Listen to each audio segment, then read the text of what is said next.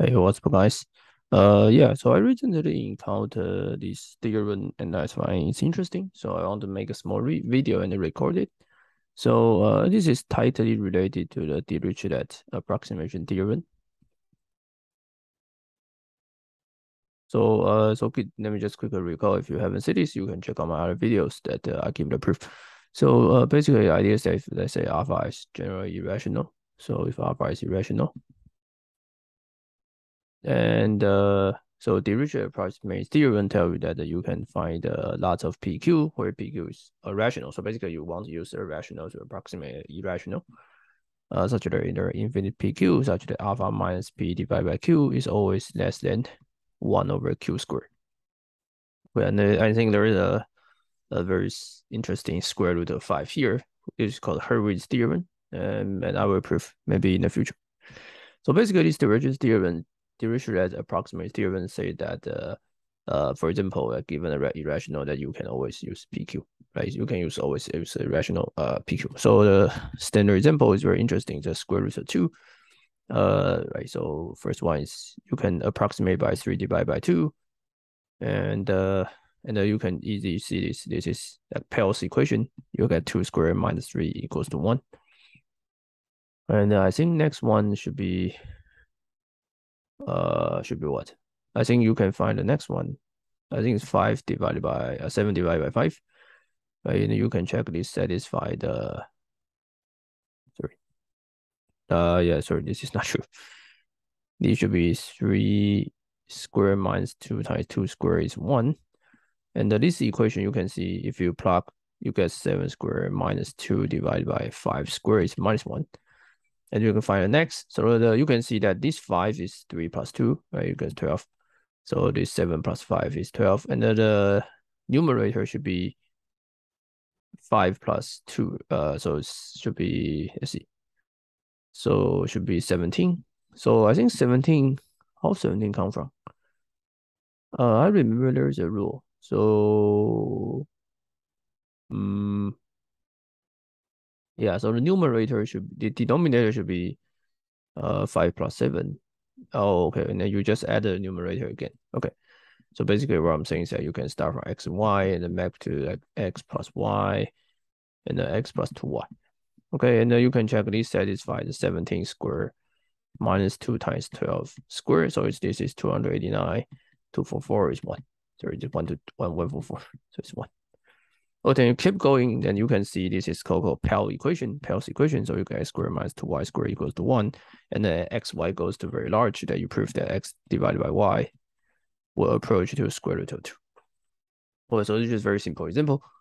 But and there's another theorem, uh, which is like the converse sum. So it's like, so basically these tell you that you get a lower bound of the lower bound of the uh, you get you get a you get this upper bound upper bound of this approximation, but there should be a lower bound, right? Because your alpha is irrational, right? So there should be always a bound if you get right if you at some particular region. Okay, so this is the Louvenier. Uh, okay, so sorry, I always spell it wrong. So Louvenier approximation theorem. So this is like a lower bound of, should be a lower bound. Okay, so let me just quickly say it. So theorem says that if alpha be the algebraic number, so let's be algebraic number. So algebraic number basically means that the alpha satisfies some uh, polynomial, some irreducible polynomial over uh over there's a over q. Okay, so there is a rational polynomial such that alpha is a root uh, that rational polynomial cannot be zero. Okay, and the degree n greater or equal to two. Okay, so this is algebra number, not necessarily algebra integer, right? Algebra integer need to satisfy the monic polynomial. Algebra number can be just there's an equation, right? There's a point uh, rational equation non-zero such that alpha is a root. And uh, then there is a c, where is a constant depend on alpha, such that uh, for any p, q belongs to all integer. Uh, we have alpha minus p divided by q. Right, there is a bound on q, which than equal to 1 over q to the n. Okay, so this is interesting uh, results, right? This is like the, the different sides of the, the Dirichlet theorem. Okay, and the proof is very amazing. Okay, uh, so important is that algebra number, right? So there's a counterpart of that uh, counterpart that if if you if you you can find a number which don't satisfy the theorem, that means that alpha is not algebraic, must be transcendental. So this is the why the how the Louvernier can come uh, come up with this uh, transcendental number. Okay. Uh, so yeah, you can spend a little bit time understand it. So proof. A proof very simple, right? Because we can assume that we have x, f of x, we see one, we see two, of cn xn, let's say, and f alpha zero. Okay, and the n is greater equal to two. And the f is, let's assume f is irreducible over q. Irreducible over q. Okay, and uh, so let's say we pick any PQ, right? Say any PQ, or I can do P divided by Q. And uh, right, and I take absolute value. So this always give me the CK, PQ, K, K from zero to N. And uh, this is like one over N, Q to N, or K from zero to N. CK, PK, and minus K. So let's take absolute value and uh, okay, at least it is just the take out basically take out all the numerator denominator and collect them. And obviously that this is some integer, right? And this guy cannot be zero because f is irreducible over q, so there should be no rational roots. So greater than one over q to n. Okay, so our goal is to our goal is to compute alpha minus right alpha minus p divided by q. So what we need to know is that what we need to use the mean value theorem because hopefully you can see this, right? Because what we gonna to use this.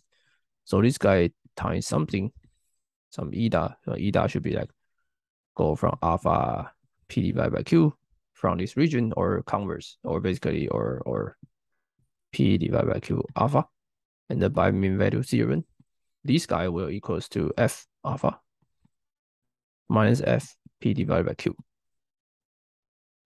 okay so let's use so this is UC using the MVT, mean value theorem. So, so what we have is that uh, this guy zero, right? Because we are assuming that f alpha zero. And uh, okay, so what we have is very simple. We know that uh, alpha minus p by q is is what? Okay,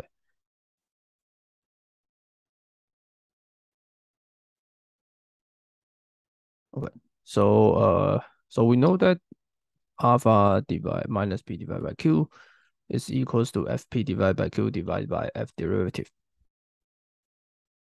Okay, so c is fp divided by q absolute value divided by f derivative.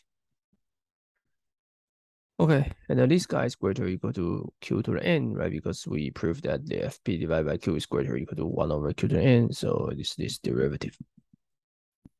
Okay, and uh, obviously that this derivative cannot be 0, or maybe 0, right? Who knows, right? But but what? But we know that uh, but we know that f prime of alpha must be non-zero, right? Because we know that alpha cannot be the multiple roots, right? Otherwise, that the f is not reducible. So that means f and s alpha point that f prime of alpha is non-zero. And we know that this guy is a continuous function. f prime is a continuous function. So that uh, there must be some region. There must inside a small region. Right? There must be some small region such that f derivative is non-zero. Okay. So I can find a region such that the f prime of alpha that's uh greater uh, derivative, I can find a region such that uh, this derivative is at most 2 f prime of alpha. Okay, so I just make q large enough. I can make q large enough, right? So p divided by q will large will small enough. Then I get the will close to alpha enough such that 2 divided by such that this is true. Okay, so now we can collect our results. So we get alpha minus p divided by q greater or equal to what? 2 to the q to the n and the f prime of alpha. Okay, And uh, so what we need to do, right? We can just choose choose our constant. So we need we want to choose this to be something like this, right? So we can choose constant to be the to be the minimum of this two negative two minus uh one over two and the f prime of alpha inverse and uh, all the rest, all the finite q, right? There's so this holds for q greater equal to q zero. So I can just pick up all the finite q zero, right? So I can I can just take the qn alpha minus p divided by q for all q less than q zero. Okay. So this is the proof. So proof is very simple, right? We just pick up a mean value theorem and then collect collect everything. Okay, so uh, from this that we can construct a Liouvenier uh, Liouvenier uh, transcendental number. Okay. Okay, so the proof idea is similar. We need basically we need to show that. So we need we, we so basically we want to show I I want to find some number x, define some number x, right, such that uh the previous Liouvenier approximation theorem is false. So basically, it's false means that what? Means that uh right. So basically, you give an n, and uh, you give an n, right? And uh, why? And you always, right? You can always find the PQ, right? Given n, we so basically we want to show that given n, there's always a exist a PQ such that x minus p divided by q is violate this theorem, right? So we need less than q divided by or basically or less than some constant, right? But it's using one divided by q to n will, will, will be will be safe enough. Will be safe enough. Mm. Okay, and uh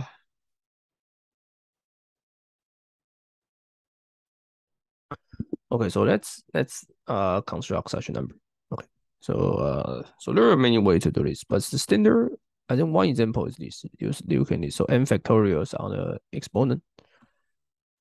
I think you can also replace by like one divided by two n factorial. It's the same as this x. Okay, so obviously that uh, x is converged. And uh, why? Because 1 divided by n factorial is less or equal to 1 divided by 10 to the n. So by the convert dominant convergence theorem, X converge. Okay, so my claim is that uh, X is transcendental. Okay, so idea is that it's a fixed capital N large. It's fixed, first fixed capital N to be large, and let's say small n greater than capital N is I write Pn divided by Qn to be, let's see, let's take the partial sum. Okay, obviously that Pn square Pn greater than, than zero, right? Obviously, and the Qn greater than zero because the right hand side is zero. Okay. Hmm.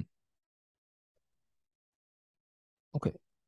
So this means what?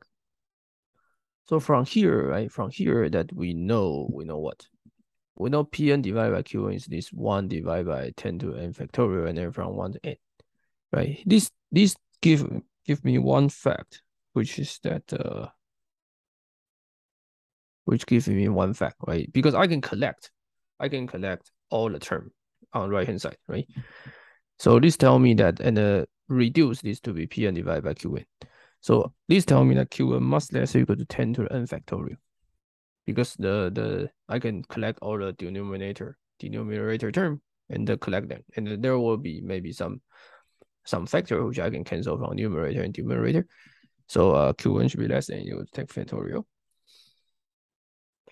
Okay, but if this is true, then x minus pn divided by qn will be m greater than n 1 over m factorial and then we know it's definitely greater than zero. Why? Uh, okay, so let's, yeah, sure, sure, right? Because these guys greater equal to zero, n factorial, and I can write it as one divided by n, 10 n plus one factorial, one plus one n plus two plus uh 10 of n plus 2, n plus 3, and keep going. And obviously this is less than equal to 1 divided by 10 n factorial to the exponent. And uh, this guy is less, obviously this is less than the geometric series, so you can take this. And I can change this to be 2 divided by 10 to the n factorial times n plus 1. Okay, and then less than 2 divided by qn n plus 1. That's equal to 2 divided by q capital N, capital uh, small n, capital N. Okay, so this the final line is basically qn less or equal to 10 to n factorial. And uh, this is less than 2 divided by, right? So this guy is simple and uh, this guy is simple, right? Because I can fix, because my assumption is that uh, small n is greater than capital N. Okay, so what this means, what this mean what?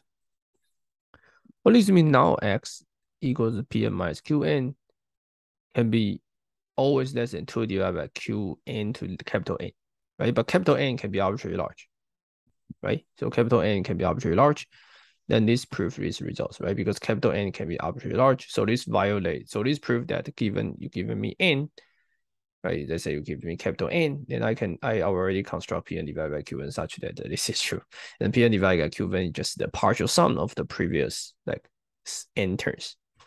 Okay, so you can play around with it, write, uh, write down and thing carefully. But basically, once we prove this, right, this is the partial sum.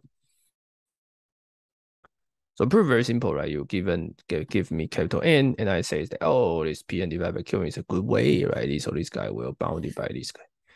Okay, and then their factor of two is not important. Okay, so uh, this proves the transcendental number and also tell you guys the this Liouvanier approximation theorem. And I hope you guys subscribe to my channel.